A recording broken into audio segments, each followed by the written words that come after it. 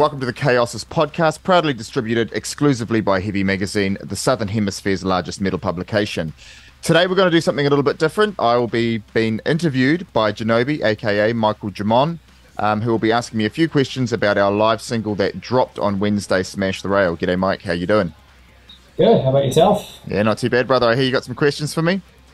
Yeah, sweet. So yeah, the writing of Smash the Rail was before I was in the band. So can you talk a bit about what was the inspiration behind the track? Uh, I don't know when when I was ex- first exposed to I, I suppose what's called bro step, um, which is kind of the the American version of dubstep. Uh, I just saw like a massive synergy between um, between dubstep and hardcore and metal. Like I just saw a, a crossover. I saw that the the dubstep kids were essentially dressing like hardcore kids of the mid 2000s with all, all black cap, backpacks with the caps. And they were all basically just headbanging and they had circle pits. And I was like has why has nobody put this you know together that metal and dubstep are so you know synergetic basically? Um and yeah that that's pretty much it. That's that that's where the that's where the song came from Nice, yeah. And what, what's the idea behind Smash the Rail as a term? What does that mean? So, smash the rail uh, is a term that's used in dubstep, uh, and it, it basically means just that the rail is the crowd barrier. So, um, just and, and, you, and you'll see in dubstep, like uh, in, in dubstep festivals, all the kids will grab the rail and then they will just headbang in unison. Yeah, and and so that's what smashing the rail is. And and once again, I saw the the um the similarities between metal and and dubstep, and it was like, well, we headbang and we smash the rail. They headbang and they smash the rail. Um, and I and I just saw the crossover basically. And so, when the song comes out, what label is it coming out on? Uh, so this is the first track that we are dropping on Blood Blast, um, Blood Blast Distribution, which is an imprint of Nuclear Blast.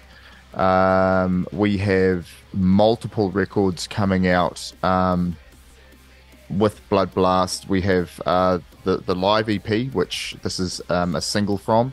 We've got uh, we've got We Are the Future, which is the feature album, and we've got a remix, a full remix of that album, and then we've got an analog remaster of the album as well. That's going to be coming, all of it coming out on um, with Blood Blast.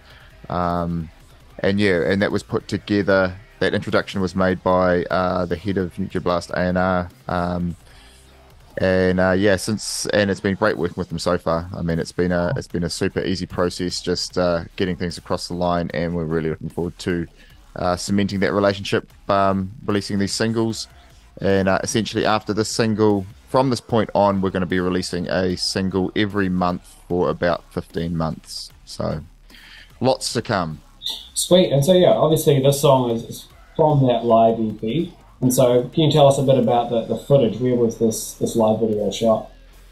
Uh, so, this live video, so the, the EP itself is essentially the soundtrack to a full video that we shot. Um, and the, the, the show was basically the, one of the first shows back after COVID. So, uh, you know, we hadn't played a show obviously for about two years um, at that stage, and essentially just wanted to come back and hit the hometown crowd. So we booked out Totara, um, and yeah, great. It was, it was it was it was an awesome night. But I mean, even now, as you know, like we shot that how long ago now? A year and a half ago.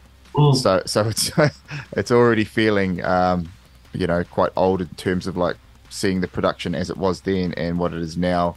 Um, but yeah, still super proud of like what we accomplished through that through that shoot. That's for sure. Cool. And so, so dubstep as a genre. Hmm. Obviously, other you know, genres of electronic music perhaps are, are more popular nowadays. What, what's your thought on the lasting influence of dubstep on popular music? I don't know, but I do know that dubstep has been around already for about 20 years. Um, and, you know, it's obviously gone from um, like two step and garage sort of combining with dub elements to form what was originally the UK dubstep into what we now are familiar with, which I term as bro step because It's uh, it's the stuff that like Skrillex, Zomboy, um, and those and those guys popularized. Um, and like anything, I think that you know some some of that sound design is still prevalent in in um, in dance music, but I think the problem that dubstep had, like a lot of uh, trends, is that it, it, pop culture got hold of it and just thrashed it and overexposed people to it. And the sound itself, I don't think, was given a chance to develop. Um, it's I mean, dubstep is still massive. It's just uh, oh. It's just not so much. I mean, like you look at Lost Lands and stuff like that, they're still pulling. I don't know, maybe probably who knows, like forty thousand people. I don't know. It's, it's massive. Um, so it's it's still it's still highly prevalent. It's just not quite in the in the mainstream eye as it once was. Hmm. Um, mm. But yeah, that's my thoughts. So you know, obviously this this track is a crossover between dubstep and metal. What would be a, a good dubstep artist that would be a good entry for for metalheads to listen to? I reckon that all metalheads that have that are into any kind of dance music at all, or electronic music, or even highly processed metal music, um, check out Sullivan King. Uh, he is basically a guitarist that produces guitar like like more traditional metal riffage, um, sort of metalcore riffage with with big dubstep drops. Um, and he sings uh, on his tracks. He's he's a phenomenal performer too, and so he's actually on stage playing his guitar while he's um, mixing as, as well. Um, he's killer. Um, probably the biggest influence that I've had on our on our sound is uh, Excision. Um, he's he's massive. Um, if you even check out the song "Neck Brace" by Excision, you will hear the parallels between "Smash the Rail" and and that track. And once again, the, the song is "Neck Brace" and it's about fucking headbanging, you know. Um, and then uh, something that's not not not dubstep, but it's kind of dubstep adjacent, and that's Mick Gordon, uh, who you may know from doing the um, the Doom soundtrack and uh, Prevail to Slaughter. Uh, that's the that's the that's what they're called eh? the singer from Alex. Is it Alex? I think so. Yeah. So and, and he did a, a vocal cover over that, and it's that's brutal. It's amazing. Um, so check that out too, Mick Gordon. Um, and if you want to get super specific, check out the Mick Gordon vocal cover. It's it's it's it's killer. Yeah. Cool. So obviously, there's lots coming up for Chaos. Is there, there anything else specific you can announce? Yeah, we've just uh, we've just been working with um, with a merch company called Merch Masters. Um, we've just uh, signed a deal with them to start distributing um, more of our merch, which is which is quite a big deal. Those guys are um, going to rapidly expand into New Zealand, and we're stoked to be one of the first business partners um, to that, that they've taken on board. Um, and you, you, will see them have a presence at all of our future shows as well. Um, so yeah, I'm super super hyped about that because you know obviously that with streaming these days um, being worth so little, diminishing physical sales, revenue streams are at all time lows. So like we really have to capitalize as musicians on merchandise, and it's good to have finally have a um, forward thinking, innovative merchandising partner. So that's pretty cool.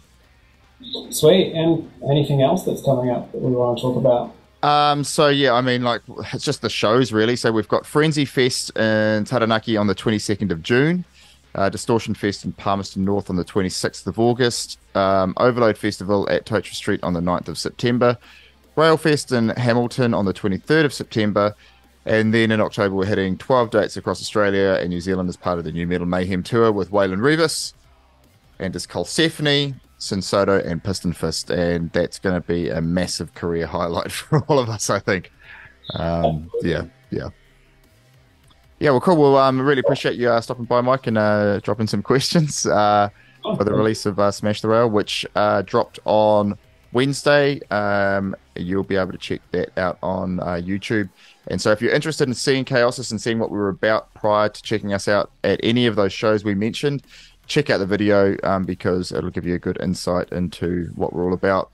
Um, all right. Well, thanks everybody for tuning in again. Um, this has been another Chaos podcast. Stay heavy.